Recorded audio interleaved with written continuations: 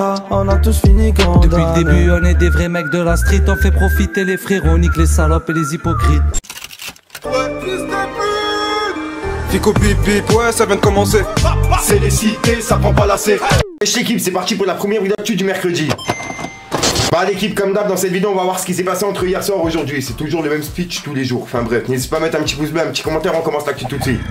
Bah l'équipe, il qui a réagi encore une fois suite au message que je vous ai lu hier dans ma vidéo par rapport à justement ce qu'il a dit sur Kobe, etc. Ça avait rien à voir avec Kobe. Bref, en gros, il a dit Je n'ai rien contre Kobe, qui était un exemple de réussite pour nous tous, et je ne compare pas les morts, loin de là. Je suis juste fatigué de voir que les médias et les gens réagissent en fonction du buzz. Mais quand c'est africains et musulmans qui meurent, c'est pas assez grave. Les Ouïghours, les Ringas, les Palestiniens, etc. Les musulmans sont persécutés partout dans le monde, mais tout le monde s'en fout, au même titre que les millions de morts au Congo et ailleurs en Afrique, comme si leur vie comptait moins que celle des gens hype et connus. Puis il a clôturé par deux messages qui franchement respect. Il a écrit « Je suis rappeur et non politique. Je n'ai rien à gagner à vous dire tout ça, en sachant qu'à chaque fois qu'un rappeur donne son avis, vous lui tombez dessus. Je pourrais tout aussi bien rester silencieux, faire ma musique et prendre mon argent. Mais je suis un humain avant tout. Qu'Allah préserve chaque peuple persécuté, que ce soit chrétien, juif, musulman ou bouddhiste, de toutes les couleurs et de toutes les nations. Qu'Allah vous apporte la paix dans ce monde de fous. Malheureusement, c'est toujours le peuple qui paye les erreurs du gouvernement. Là, il a tout dit. Ensuite, l'équipe, il y a Sosomanes qui a annoncé la sortie de son album Avec le temps, qui sortira le 14 juin. Et on pourra retrouver plusieurs featuring à l'intérieur, comme PLK, Joule, Gims et SCH. Franchement, j'ai vraiment hâte de l'écouter. Ensuite, l'équipe, il y a le rappeur d'Instinct qui a justement sorti plusieurs clips quand il y avait les gilets jaunes. Et personnellement, j'ai grave kiffé les textes qu'il a fait à l'intérieur. Bref, bah là, il a annoncé justement la sortie d'un clip demain soir. Et dedans, il annoncera justement la date de son album. Donc quoi qu'il arrive, je vous en reparlerai en vidéo. Ensuite, l'équipe, il y a l'album LMF de Frisk qui vient d'atteindre la barre des 100 000 équivalents ventes. Ce qui veut dire que son album, il est certifié disque de platine. C'est son premier disque de platine pour son premier album. C'est mérité à 100%. Ensuite, l'équipe, il y a l'acteur Saïdou Kamara de la série Validé qui a laissé un message de soutien pour Brahim, qui est réel à fond. Il a dit, quand un frère merde, on ne lui tourne pas le dos, on le corrige. C'est ça la famille. Force à mon frère Brahim. Cette équipe, il y a Booba qui a fait supprimer le featuring entre Damso et Booba qui a été fait par PNL World en remixant deux sons à eux. Je trouve ça vraiment abusé parce que le featuring, personnellement, je le trouvais trop bien. Ensuite, l'équipe, il y a une question que beaucoup de personnes se posent. Et si l'album Deux Frères de PNL était bien leur dernier album? En effet, il y a Amine et Hugo qui ont posé une petite théorie. Et elle est pas mal. En gros, sur le côté de l'album, il y a des points. Et le dernier point, il est rempli pour Deux Frères. Et l'avant-dernier pour Dans la Légende. Et regardez, en plus de ça, ce qui est chelou, c'est que dans leur deuxième album, Le Monde Chico, qui est sorti en 2015, je précise bien que c'est leur deuxième album, et ben on retrouve encore une fois les points associés. Chico. Deuxième album de PNL. QLF, Le Monde Chico, dans la légende, deux frères. Un point. Ensuite, l'équipe, il y a l'assassin de Pop Smoke qui s'est expliqué sur ce qui s'est passé le jour-là. Je vais vous lire l'article tout de suite. Le New York Daily News vient de relayer les dernières déclarations du meurtrier de Pop Smoke dans un rapport révélé il y a quelques jours. Nous apprenons que le jeune homme l'ayant abattu avait seulement 15 ans lors de ce drame, survenu pendant un vol.